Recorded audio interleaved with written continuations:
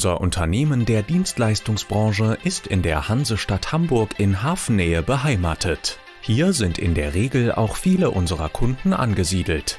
Unser Angebot richtet sich an Lager- und Logistikbetriebe, die ihre schwankende Auftrags- und Auslastungssituation mit einem per Werkvertrag engagierten, flexiblen Dienstleister abfedern wollen.